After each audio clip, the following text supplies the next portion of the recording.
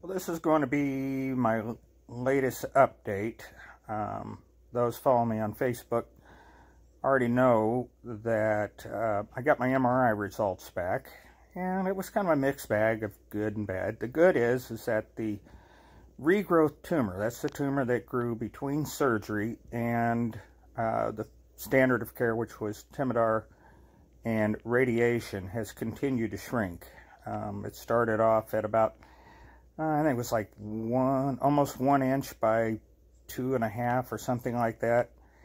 And then now it's like a, about a third of an inch by about five eighths or maybe a little bit smaller. So much, much smaller.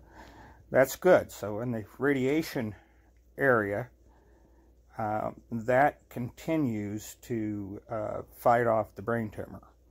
However, on the outside edge, um, about 10 millimeters or so beyond where we uh, did the radiation, which is usually a little bit bigger than the tumor bed area, by about 20 millimeter, uh, something of that nature.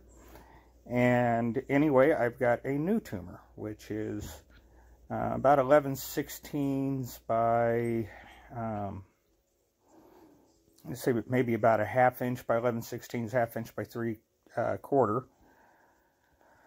So now it's decision time. We did. Uh, I did start the uh, second study drug, and that one is the uh, Keytruda, and uh, that's an immunotherapy drug. Now, typically with Keytruda, it works better if it is given before surgery and then uh, after surgery, while the body is having its immune response to the surgery it kicks into high gear and appears to work much, much better than if you were just to take it after surgery and not have it before. So I guess in a weird kind of way, that's kind of a plus because most likely I will have to do surgery. I just need to decide whether or not I want to do radiation again or if I'm going to have them uh, put in something called gamma tiles, which are a collagen, um, kind of a collagen grid with cesium and uh, that takes place of the radiation.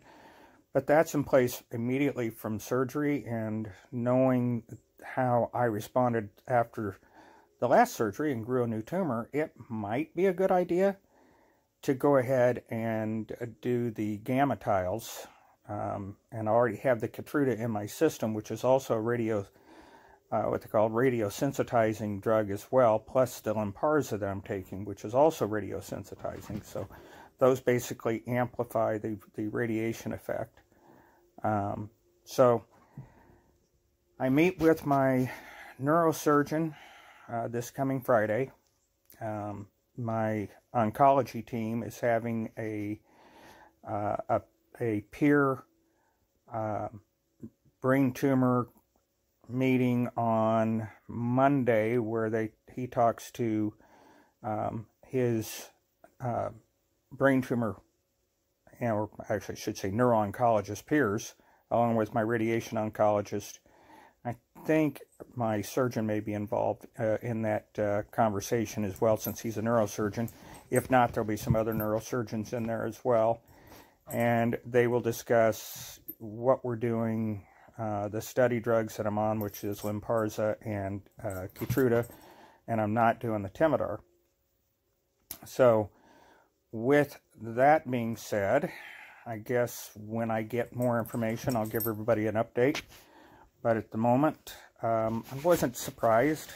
Um, Lynparza uh, is, you know, that was kind of a, I'm going to say a long shot. It was a, um, and it may work in combination with the other, uh, uh, with the Keytruda, but we were trying to take advantage of my uh, BRCA2 mutation and uh, and try to keep the uh, uh, the DNA from repairing, and if it can't repair, it can't reproduce. Um, so that was the uh, that was the intention on that, and then the Keytruda. The idea behind that is is it's uh, it blocks the PD-L1 expression in the tumor, which is supposed to uh, open the cancer cell up to the immune system so that it is recognized as a uh, as a defective cell to be taken out. So that's kind of the idea behind it. Apparently, from what I understand, the PD-L1 expression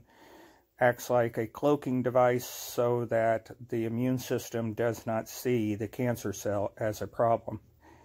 So anyway, I will give everybody an update as I learn a little bit more, but that is where we are right now. So continue prayers, please. I really, really do uh, appreciate everyone's uh, prayers and their concerns. Uh, I can't even, Joni and I can't even begin to tell you how much we appreciate everyone who has contributed to the GoFundMe account. Um, I'm not exactly sure what we would have done. And uh, without everyone's help, it's gotten us up to this point, and I really, really, really appreciate it. And this is, you know, that I, again, everybody's generosity is just, uh, it's just blown me away. I mean, it, it just shows you how special uh, my friends and family are and uh, how blessed I am. Uh, because, you, you, know, you don't go through any of these journeys. Um, for that matter, you don't go through life without faith. You definitely don't face a, a um, you know, a terminal cancer, as it's considered, uh, an incurable cancer, without um, faith. Because it's, you know, you, you can't be afraid of uh, of the potential end result. And uh, you know, I know where I'm going to go. Um, I'm not in a hurry to get there. I still want to watch uh, my son graduate college, and and uh, like to see my grandchildren uh, continue on. I've got uh, some grandkids, a granddaughter that's going to be graduating this year, and I've got a um, so I'm maybe uh, not, uh, well, I say this year, it's actually, she's in her senior year now, so, and my son's in college, and I'd like to see him, you know, get married someday and have children as well, so, um, anyway, not to mention the fact, I kind of dig Joni, I don't, she is an incredibly special person, so, um, she is one of my greatest blessings in life, so, everyone take care, thank you so much for your prayers, and I will try to keep everybody updated as much as I can.